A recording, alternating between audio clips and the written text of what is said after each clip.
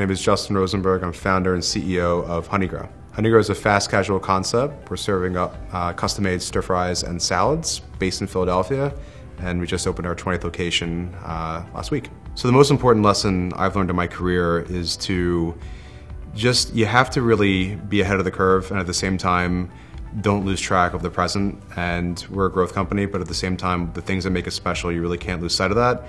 Making sure you connect with your team, making sure you're there for your team, making sure that you're finding the right people. I'd say that's a total priority for us.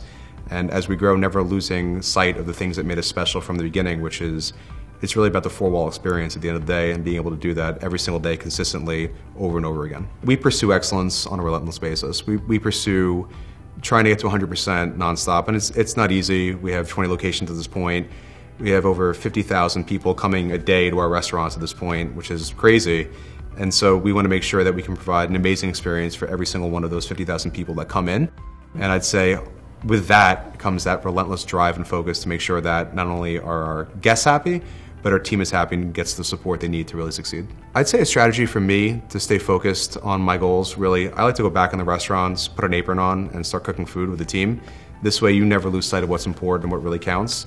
Again, it's easy with traveling and opening up new things and always kind of chasing the shiny new object never lose sight of what actually counts, which is the things that made you special in the beginning. So I love getting in the restaurants, getting you know my hands on the wok and just cooking food for a few shifts. It's pretty fun. If we were having a conversation and I had to give you something that would improve your knowledge, my advice would be get your hands dirty, get in there, get know as much as possible at your business.